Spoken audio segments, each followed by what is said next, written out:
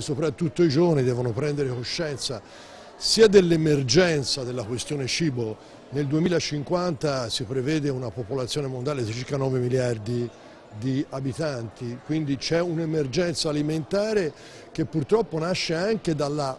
ingiusta, iniqua redistribuzione delle risorse a livello, a livello, globale. Ma questa giornata io credo sia anche importante per capire le cause poi che portano al problema dell'emergenza alimentare eccetera e sono le cause dovute alle guerre, agli, ai conflitti che nascono naturalmente da interessi materiali molto forti, in particolare in Africa. In questo momento abbiamo veramente dei grossi problemi e delle grandi emergenze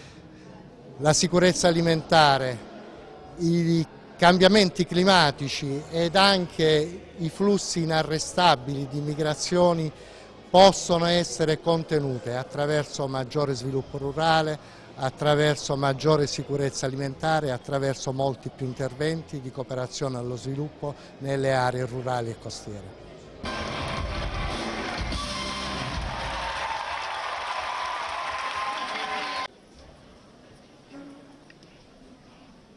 Ladies and gentlemen,